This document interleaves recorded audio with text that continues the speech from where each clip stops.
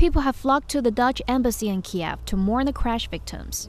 As they laid flowers and lit candles, many were visibly stunned by the disaster, distraught and sobbing.